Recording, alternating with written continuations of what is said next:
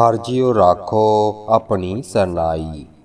हे ਪ੍ਰਭੂ ਜੀ, ਜਿਸ ਮਨੁੱਖ ਨੂੰ ਤੂੰ ਆਪਣੀ ਸ਼ਰਨ ਵਿੱਚ ਰੱਖਦਾ ਹੈ, ਗੁਰ ਪ੍ਰਸਾਦੀ ਹਰ ਰਸ ਪਾਇਆ, ਨਾਮ ਪਦਾਰਥ ਨੌ ਨਿਧ ਪਾਈ। ਰਹਾਓ, ਗੁਰੂ ਦੀ ਕਿਰਪਾ ਨਾਲ ਉਹ ਤੇਰੇ ਨਾਮ ਦਾ ਸਵਾਦ ਚੱਖ ਲੈਂਦਾ ਹੈ। ਉਸ ਨੂੰ ਤੇਰਾ ਉੱਤਮ ਨਾਮ ਮਿਲ ਜਾਂਦਾ ਹੈ, ਜੋ ਉਸ ਦੇ ਵਾਸਤੇ ਮਾਨੋ ਨੋਖ ਖਜ਼ਾਨੇ ਹਨ। ਭਾਵ ਧਰਤੀ ਦਾ ਸਾਰਾ ਹੀ ਧਨ ਪਦਾਰਥ, ਨਾਮ ਦੇ ਟਾਕਰੇ ਤੇ ਉਸ ਨੂੰ ਤੁਛ ਜਾਪਦਾ ਹੈ। ਕਰਮ ਧਰਮ ਸੱਚ ਸਾਚਾ ਨਾਉ। ਜੋ ਪ੍ਰਭੂ ਦੇ ਸਦਾ ਤੇ ਨਾਮ ਨੂੰ ਹੀ ਸਭ ਤੋਂ ਸ੍ਰੇਸ਼ਟ ਕਰਮ ਅਤੇ ਧਾਰਮਿਕ ਫਰਜ਼ ਸਮਝਦਾ ਹੈ, ਤਾਂ ਕੈ ਸਦ ਬਲਹਾਰੈ ਜਾਓ ਮੈਂ ਉਸ ਮਨੁੱਖ ਤੋਂ ਸਦਕੇ ਜਾਂਦਾ ਹਾਂ। ਜੋ ਹਰ ਰਾਤੇ ਸੇ ਜਨ ਪਰਵਾਨ। ਪ੍ਰਭੂ ਦੀ ਹਜ਼ੂਰੀ ਵਿੱਚ ਉਹੀ ਮਨੁੱਖ ਕਬੂਲ ਹੁੰਦੇ ਹਨ, ਜੋ ਪ੍ਰਭੂ ਦੇ ਪਿਆਰ ਵਿੱਚ ਰੰਗੇ ਰਹਿੰਦੇ ਹਨ। ਤਿੰਨ ਕੀ ਸੰਗਤ, ਪਰਮ ਨਿਦਾਨ। ਉਹਨਾਂ ਦੀ ਸੰਗਤ ਕਰਕੇ ਸਭ ਤੋਂ ਕੀਮਤੀ ਨਾਮ ਖਜ਼ਾਨਾ ਮਿਲਦਾ ਹੈ। ਹਰ ਵਾਰ ਜਿਨ ਪਾਇਆ ਧਨ ਨਾਰੀ। ਉਹ ਜੀਵ ਇਸਤਰੀ ਭਾਗਾ ਵਾਲੀ ਹੈ, ਜਿਸ ਨੇ ਪ੍ਰਭੂ ਪਤੀ ਆਪਣੇ ਹਿਰਦੇ ਵਿੱਚ ਲੱਭ ਲਿਆ ਹੈ। ਹਰ ਸਿਓ ਰਾਤੀ ਸ਼ਬਦ ਵਿਚਾਰੀ। ਜੋ ਪ੍ਰਭੂ ਦੇ ਪਿਆਰ ਵਿੱਚ ਰੰਗੀ ਰਹਿੰਦੀ ਹੈ, ਜੋ ਪ੍ਰਭੂ ਦੀ ਸਿਫਤਸਲਾ ਦੀ ਬਾਣੀ ਨੂੰ ਆਪਣੇ ਮਨ ਵਿੱਚ ਵਿਚਾਰਦੀ ਹੈ। ਆਪ ਤਰੈ, ਸੰਗਤ ਕੁਲ ਤਾਰੈ। ਉਹ ਜੀਵ ਇਸਤਰੀ ਆਪ ਸੰਸਾਰ ਸਮੁੰਦਰ ਤੋਂ ਪਾਰ ਲੰਘ ਜਾਂਦੀ ਹੈ ਅਤੇ ਆਪਣੀ ਸੰਗਤ ਵਿੱਚ ਆਪਣੀ ਕੁਲ ਨੂੰ ਤਾਰ ਲੈਂਦੀ ਹੈ। ਸਤਗੁਰ ਸੇਵ ਤਤ ਵਿਚਾਰੈ। ਸਤਗੁਰ ਦੇ ਦੱਸੇ ਰਾਹ ਉੱਤੇ ਤੁਰ ਕੇ ਮਨੁੱਖਾ ਜਨਮ ਦਾ ਅਸਲ ਲਾਭ ਉਹ ਆਪਣੀਆਂ ਅੱਖਾਂ ਦੇ ਸਾਹਮਣੇ ਰੱਖਦੀ ਹੈ। ਹਮਰੀ ਜਾਤ ਪਤ ਸੱਚ ਨਾਉ। ਦੁਨੀਆ ਵਿੱਚ ਕਿਸੇ ਨੂੰ ਉੱਚੀ ਜਾਤ ਦਾ ਮਾਣ ਹੈ, ਕਿਸੇ ਨੂੰ ਉੱਚੀ ਕੁਲ ਦਾ ਤਰਵਾਸ ਹੈ। ਕਰਮ ਧਰਮ ਸੰਜਮ ਸਤ ਪਾਓ हे ਵਾਹਿਗੁਰੂ, ਮਿਹਰ ਕਰ। ਤੇਰਾ ਸਦਾ ਸਥਿਰ ਰਹਿਣ ਵਾਲਾ ਨਾਮ ਹੀ ਮੇਰੇ ਵਾਸਤੇ ਉੱਚੀ ਜਾਤ ਅਤੇ ਕੁਲ ਹੋਵੇ। ਤੇਰਾ ਸੱਚਾ ਪਿਆਰ ਹੀ ਮੇਰੇ ਲਈ ਧਾਰਮਿਕ ਕਰਮ, ਧਰਮ ਅਤੇ ਜੀਵਨ ਜੁਗਤ ਹੋਵੇ। ਨਾਨਕ ਬਖਸ਼ੇ, ਪੂਛ ਨਾ ਹੋਏ। हे ਨਾਨਕ, ਜਿਸ ਮਨੁੱਖ ਉਤੇ ਪ੍ਰਭੂ ਆਪਣੇ ਨਾਮ ਦੀ ਬਖਸ਼ਿਸ਼ ਕਰਦਾ ਹੈ ਉਸ ਦਾ ਜਨਮ ਜਨਮਾਂਤਰਾਂ ਦਾ ਕਰਮਾਂ ਦਾ ਲੇਖਾ ਨਿਬੜ ਜਾਂਦਾ ਹੈ। ਉਸ ਪਾਸੋਂ ਫਿਰ ਕੀਤੇ ਕਰਮ ਦਾ ਲੇਖਾ ਨਹੀਂ ਪੁੱਛਿਆ ਜਾਂਦਾ।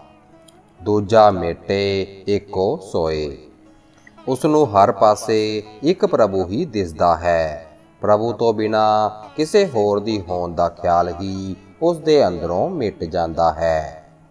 ਆਸਾ ਮਹੱਲਾ ਪਹਿਲਾ। ਇਹ ਬਾਣੀ ਰਾਗ ਆਸਾ ਵਿੱਚ ਉਚਾਰਨ ਕੀਤੀ ਹੋਈ ਧੰਨ ਗੁਰੂ ਨਾਨਕ ਦੇਵ ਜੀ ਦੀ ਬਾਣੀ ਹੈ।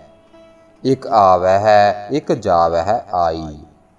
ਅਨੇਕਾਂ ਜੀਵ ਜਗਤ ਵਿੱਚ ਜਨਮ ਲੈਂਦੇ ਹਨ ਅਤੇ ਉੱਚੀ ਆਤਮਿਕ ਅਵਸਥਾ ਦੀ ਪ੍ਰਾਪਤੀ ਤੋਂ ਬਿਨਾ ਨਿਰੇ ਜੰਮਦੇ ਹੀ ਹਨ ਅਤੇ ਫਿਰ ਇੱਥੋਂ ਚਲੇ ਜਾਂਦੇ ਹਨ। ਇੱਕ ਹਰ ਰਾਤੇ ਰਹਿ ਸਮਾਈ। ਪਰ ਇੱਕ ਸੁਭਾਗੇ ਐਸੇ ਹਨ ਜੋ ਪ੍ਰਭੂ ਦੇ ਪਿਆਰ ਵਿੱਚ ਰੰਗੇ ਰਹਿੰਦੇ ਹਨ ਅਤੇ ਪ੍ਰਭੂ ਦੀ ਯਾਦ ਵਿੱਚ ਰਹਿੰਦੇ ਹਨ। ਇਕ ਧਰਨ ਗਗਨ ਮਹਿ ਠੌਰ ਨਾ ਪਾਵਹਿ। ਸਾਰੀ ਸ੍ਰਿਸ਼ਟੀ ਵਿੱਚ ਉਹਨਾਂ ਨੂੰ ਕਿਤੇ ਸ਼ਾਂਤੀ ਲਈ ਥਾਂ ਨਹੀਂ ਲੱਭਦੀ। ਸੇ ਕਰਮਹੀਨ ਹਰ ਨਾਮ ਨਾ ਧਿਆਵਹਿ। ਜਿਹੜੇ ਬੰਦੇ ਪ੍ਰਭੂ ਦਾ ਨਾਮ ਨਹੀਂ ਸਿਮਰਦੇ, ਉਹ ਅਭਾਗੇ ਹਨ। ਉਹਨਾਂ ਦੇ ਮਨ ਸਦਾ ਭਟਕਦੇ ਰਹਿੰਦੇ ਹਨ। ਗੁਰਪੂਰੇ ਤੇ ਗਤ ਮਿਤ ਪਾਈ। ਉੱਚੇ ਆਤਮਿਕ ਜੀਵਨ ਦੀ ਮਰਿਆਦਾ ਪੂਰੇ ਗੁਰੂ ਤੋਂ ਹੀ ਮਿਲਦੀ ਹੈ। ਇਹ ਸੰਸਾਰ ਵਿਖਵਤ ਅਤ ਭੌਜਲ ਗੁਰ ਦੀ ਹਰ ਪਾਰ ਲੰਗਾਈ ਰਹਾਓ।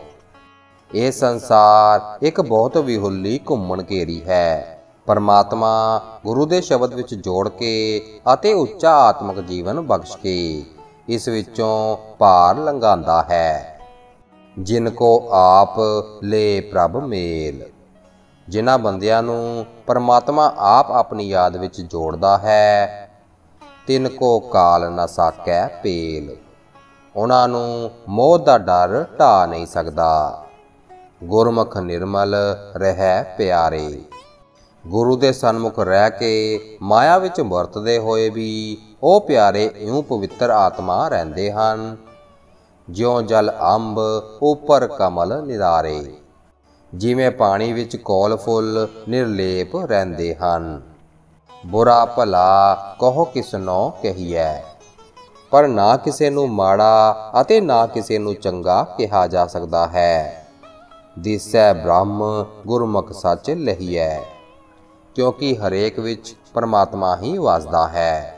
ਪਰ ਹਾਂ, ਉਹ ਸਦਾ ਤੇ ਪ੍ਰਭੂ ਲੱਭਦਾ ਹੈ, ਗੁਰੂ ਦੇ ਸਨਮੁਖ ਹੋਇਆ ਹੀ। ਅਕਥ ਕਥੋ ਗੁਰਮਤ ਵਿਚਾਰ।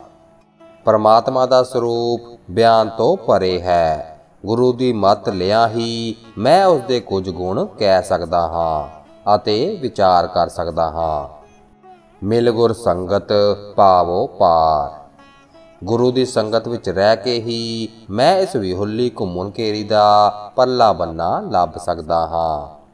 ਸਾਸਤ ਵੇਦ ਸਮ੍ਰਿਤ ਬਹੁ ਭੇਦ 68 ਮੰਜਨ, ਹਰ ਰਸ ਰੇਦ। हे ਭਾਈ, ਪਰਮਾਤਮਾ ਦੇ ਨਾਮ ਦਾ ਆਨੰਦ ਹਿਰਦੇ ਵਿੱਚ ਮਾਣੋ। ਇਹੀ ਹੈ ਵੇਦਾਂ, ਸ਼ਾਸਤਰਾਂ, ਸਿਮਰਤੀਆਂ ਦੇ ਵੱਖ-ਵੱਖ ਵਿਚਾਰ ਵਿਚਾਰ ਨੇ ਇਹੀ ਹੈ 68 ਤੀਰਥਾਂ ਦਾ ਇਸ਼ਨਾਨ। ਗੁਰਮੁਖ ਨਿਰਮਲ ਮੈਲ ਨਾ ਲਾਗੈ। ਗੁਰੂ ਦੇ ਸਨਮੁਖ ਰਹਿ ਕੇ ਨਾਮ ਦਾ ਆਨੰਦ ਲਿਆ, ਜੀਵਨ ਪਵਿੱਤਰ ਰਹਿੰਦਾ ਹੈ ਅਤੇ ਵਿਕਾਰਾਂ ਦੀ ਮੈਲ ਨਹੀਂ ਲੱਗਦੀ। ਨਾਨਕ ਹਿਰਦੈ ਨਾਮ, ਵੱਡੈ ਤੁਰ ਭਾਗੈ। ਏ ਨਾਨਕ, ਧੁਰੋ ਪਰਮਾਤਮਾ ਵੱਲੋਂ ਹੀ ਮਿਹਰ ਹੋਵੇ, ਤਾਂ ਨਾਮ ਹਿਰਦੇ ਵਿੱਚ ਵਸਦਾ ਹੈ। ਆਸਾ ਮਹੱਲਾ ਪਹਿਲਾ। ਇਹ ਬਾਣੀ ਰਾਗ ਆਸਾ ਵਿੱਚ ਉਚਾਰਨ ਕੀਤੀ ਹੋਈ ਧੰਨ ਗੁਰੂ ਨਾਨਕ ਦੇਵ ਜੀ ਦੀ ਬਾਣੀ ਹੈ। ਨਿਵ ਨਿਵ ਪਾਏ ਲਾਗੋ ਗੁਰ ਆਪਣੇ, ਆਤਮ ਰਾਮ ਨਿਹਾਰਿਆ। ਮੈਂ ਮੁੜ ਮੁੜ ਆਪਣੇ ਗੁਰੂ ਦੇ ਚਰਣੀ ਲੱਗਦਾ ਹਾਂ। ਗੁਰੂ ਦੀ ਕਿਰਪਾ ਨਾਲ ਮੈਂ ਆਪਣੇ ਅੰਦਰ ਵਸਦਾ ਹੋਇਆ RAM ਵੇਖ ਲਿਆ ਹੈ। ਕਰਤ ਵਿਚਾਰ ਹਿਰਦੈ ਹਰ ਰਵਿਆ, ਹਿਰਦੈ ਦੇਖ ਵਿਚਾਰਿਆ। ਗੁਰੂ ਦੀ ਸਹਾਇਤਾ ਨਾਲ ਪਰਮਾਤਮਾ ਦੇ ਗੁਣਾਂ ਦਾ ਵਿਚਾਰ ਕਰਕੇ ਮੈਂ ਉਸ ਨੂੰ ਆਪਣੇ ਹਿਰਦੇ ਵਿੱਚ ਸਿਮਰ ਰਿਹਾ ਹਾਂ। ਹਿਰਦੇ ਵਿੱਚ ਮੈਂ ਉਸ ਦਾ ਦੀਦਾਰ ਕਰ ਰਿਹਾ ਹਾਂ ਉਸ ਦੀਆਂ ਸਿਫਤ ਸਲਾਹਾਂ ਨੂੰ ਵਿਚਾਰ ਰਿਹਾ ਹਾਂ। ਬੋਲੋ ਰਾਮ ਕਰੇ ਨਿਸਤਾਰਾ। ਏ ਭਾਈ, ਪਰਮਾਤਮਾ ਦਾ ਨਾਮ ਸਿਮਰੋ। ਸਿਮਰਨ ਸੰਸਾਰ ਸਮੁੰਦਰ ਤੋਂ ਪਾਰ ਲੰਘਾ ਲੈਂਦਾ ਹੈ। ਗੁਰ ਪ੍ਰਸਾਦ ਰਤਨ ਹਰ ਲਾਭੈ, ਮਿਟੇ ਅਗਿਆਨ ਹੋਏ ਉਜਿਆਰਾ। ਰਹਾਓ, ਗੁਰੂ ਦੀ ਕਿਰਪਾ ਨਾਲ ਕੀਮਤੀ ਹਰੀ ਨਾਮ ਲੱਭ ਪੈਂਦਾ ਹੈ। ਅੰਦਰੋਂ ਅਗਿਆਨਤਾ ਦਾ ਹਨੇਰਾ ਮਿਟ ਜਾਂਦਾ ਹੈ ਅਤੇ ਗਿਆਨ ਦਾ ਚਾਨਣ ਹੋ ਜਾਂਦਾ ਹੈ। ਰਵਣੀ ਰਵੈ, ਬੰਧਨ ਨਹੀਂ ਟੂਟੈ, ਵਿੱਚ ਹੋਮੈ ਭਰਮ ਨਾ ਜਾਈ। ਜਿਹੜਾ ਮਨੁੱਖ ਸਿਮਰਨ ਤਾਂ ਨਹੀਂ ਕਰਦਾ ਪਰ ਨਿਰੀਆਂ ਜ਼ਬਾਨੀ ਜ਼ਬਾਨੀ ਬ੍ਰਹਮ ਗਿਆਨ ਦੀਆਂ ਗੱਲਾਂ ਕਰਦਾ ਹੈ। ਉਸ ਦੇ ਮਾਇਆ ਵਾਲੇ ਬੰਧਨ ਨਹੀਂ ਟੁੱਟਦੇ। ਉਹ ਹੋਮੇ ਵਿੱਚ ਹੀ ਫਸਿਆ ਰਹਿੰਦਾ ਹੈ। ਭਾਵ, ਮੈਂ ਵੱਡਾ ਬਣ ਜਾਵਾਂ, ਮੈਂ ਵੱਡਾ ਬਣ ਜਾਵਾਂ। ਇਸ ਘੁੰਮਣ ਕੇੜੀ ਵਿੱਚ ਰਹਿੰਦਾ ਹੈ।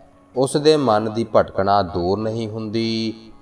ਸਤਗੁਰ ਮਿਲੇ ਤਾਂ ਹਉਮੈ ਟੁੱਟੈ, ਤਾਂ ਕੋ ਲੇਖੈ ਪਾਈ। ਜਦੋਂ ਪੂਰਾ ਗੁਰੂ ਮਿਲੇ, ਤਦੋਂ ਹੀ ਹਉਮੈ ਟੁੱਟਦੀ ਹੈ। ਤਦੋਂ ਹੀ ਮਨੁੱਖ ਪ੍ਰਭੂ ਦੀ ਹਜ਼ੂਰੀ ਵਿੱਚ ਪ੍ਰਵਾਨ ਹੁੰਦਾ ਹੈ। ਹਰ ਹਰ ਨਾਮ ਭਗਤ ਪ੍ਰਿਆ ਪ੍ਰੀਤਮ, ਸੁਖ ਸਾਗਰ ਔਰ ਤਾਰੇ ਜਿਹੜਾ ਮਨੁੱਖ ਹਰੀ ਨਾਮ ਸਿਮਰਦਾ ਹੈ, ਪਿਆਰੇ ਦੀ ਭਗਤੀ ਕਰਦਾ ਹੈ। ਸੁੱਖਾਂ ਦੇ ਸਮੁੰਦਰ ਪ੍ਰੀਤਮ ਪ੍ਰਭੂ ਨੂੰ ਆਪਣੇ ਹਿਰਦੇ ਵਿੱਚ ਵਸਾਉਂਦਾ ਹੈ। ਭਗਤ ਵਛਲ ਜਗ ਜੀਵਨ ਦਾਤਾ, ਮਤ ਗੁਰਮਤ ਹਰ ਨਿਸਤਾਰੇ। ਉਸ ਮਨੁੱਖ ਨੂੰ ਭਗਤੀ ਨੂੰ ਪਿਆਰ ਕਰਨ ਵਾਲਾ ਪ੍ਰਭੂ, ਜਗਤ ਦੀ ਜ਼ਿੰਦਗੀ ਦਾ ਆਸਰਾ ਪ੍ਰਭੂ, ਸ੍ਰੇਸ਼ਟ ਮਤ ਦੇਣ ਵਾਲਾ ਪ੍ਰਭੂ। ਗੁਰੂ ਦੇ ਉਪਦੇਸ਼ ਦੀ ਬਰਕਤ ਨਾਲ ਸੰਸਾਰ ਸਮੁੰਦਰ ਤੋਂ ਪਾਰ ਲੰਘਾ ਲੈਂਦਾ ਹੈ। ਮਨ ਸਿਓ ਜੂਝ ਮਰੈ ਪ੍ਰਭ ਪਾਏ, ਮਨਸਾ ਮਨ ਹੈ ਸਮਾਏ। ਜਿਹੜਾ ਜੀਵ ਆਪਣੇ ਮਨ ਨਾਲ ਤਕੜਾ ਟਾਕਰਾ ਕਰਕੇ ਹਉਮੈ ਵੱਲੋਂ ਮਰ ਜਾਂਦਾ ਹੈ, ਭਾਵ ਹਉਮੈ ਨੂੰ ਮੁਕਾ ਲੈਂਦਾ ਹੈ। ਮਨ ਦੇ ਫੁਰਨੇ ਨੂੰ ਮਨ ਦੇ ਅੰਦਰ ਹੀ ਪ੍ਰਭੂ ਦੀ ਯਾਦ ਵਿੱਚ ਲੀਨ ਕਰ ਦਿੰਦਾ ਹੈ। ਉਹ ਪ੍ਰਭੂ ਨੂੰ ਲੱਭ ਲੈਂਦਾ ਹੈ। ਨਾਨਕ ਕਿਰਪਾ ਕਰੇ ਜਗ ਜੀਵਨ ਸਹਿਜ ਪਾਏ ਲਿਵ ਲਾਏ। ਹੇ ਨਾਨਕ, ਜਗਤ ਦਾ ਜੀਵਨ ਪ੍ਰਭੂ ਜਿਸ ਮਨੁੱਖ ਉਤੇ ਮਿਹਰ ਕਰਦਾ ਹੈ। ਉਹ ਅਡੋਲ ਚਿਤ ਰਹਿ ਕੇ ਪ੍ਰਭੂ ਚਰਨਾਂ ਵਿੱਚ ਜੁੜਿਆ ਰਹਿੰਦਾ ਹੈ। ਆਸਾ ਮਹੱਲਾ ਪਹਿਲਾ। ਇਹ ਬਾਣੀ ਰਾਗ ਆਸਾ ਵਿੱਚ ਉਚਾਰਨ ਕੀਤੀ ਹੋਈ ਧੰਨ ਗੁਰੂ ਨਾਨਕ ਦੇਵ ਜੀ ਦੀ ਬਾਣੀ ਹੈ। ਕਿਸ ਕੋ ਕਹਿ ਸੁਨਾਵਹਿ ਕਿਸ ਕੋ ਕਿਸ ਸਮਝਾਵਹਿ, ਸਮਝ ਰਹੇ। ਗਹਿਰ ਗੰਭੀਰ ਪ੍ਰਭੂ ਨੂੰ ਸਿਮਰਿਆ। ਸਿਮਰਨ ਕਰਨ ਵਾਲਾ ਵੀ ਗਹਿਰ ਸੁਭਾਅ ਵਾਲਾ ਹੋ ਜਾਂਦਾ ਹੈ। ਉਸ ਦੇ ਅੰਦਰ ਦਿਖਾਵਾ ਅਤੇ ਹੋਛਾਪਨ ਨਹੀਂ ਰਹਿੰਦਾ। ਜੋ ਮਨੁੱਖ ਗਹਿਰ ਗੰਭੀਰ ਨੂੰ ਸਿਮਰ ਕੇ ਗਿਆਨਵਾਨ ਹੋ ਜਾਂਦੇ ਹਨ, ਉਹ ਆਪਣਾ ਆਪ ਨਾ ਕਿਸੇ ਨੂੰ ਦੱਸਦੇ ਹਨ, ਨਾ ਸੁਣਾਉਂਦੇ ਹਨ, ਨਾ ਸਮਝਾਉਂਦੇ ਹਨ। ਕਿਸੇ ਪੜਾਵੇ ਪੜ ਗੁਣ ਬੂਝੇ, ਸਤਗੁਰ ਸ਼ਬਦ ਸੰਤੋਖ ਰਹੇ। ਜੋ ਮਨੁੱਖ ਗੈਰ ਗੰਭੀਰ ਦੀਆਂ ਸਿਫਤਾਂ ਪੜ੍ਹ ਕੇ, ਵਿਚਾਰ ਕੇ ਜੀਵਨ ਭੇਤ ਨੂੰ ਸਮਝ ਲੈਂਦੇ ਹਨ ਉਹ ਆਪਣੀ ਵਿੱਦਿਆ ਦਾ ਦਿਖਾਵਾ ਨਹੀਂ ਕਰਦੇ, ਗੁਰੂ ਦੇ ਸ਼ਬਦ ਵਿੱਚ ਜੁੜ ਕੇ ਓਛਾਪਨ ਤਿਆਗ ਕੇ ਉਹ ਸੰਤੋਖ ਵਿੱਚ ਜੀਵਨ ਬਤੀਤ ਕਰਦੇ ਹਨ। ਵਾਹਿਗੁਰੂ ਜੀ ਕਾ ਖਾਲਸਾ, ਵਾਹਿਗੁਰੂ ਜੀ ਕੀ ਫਤਿਹ।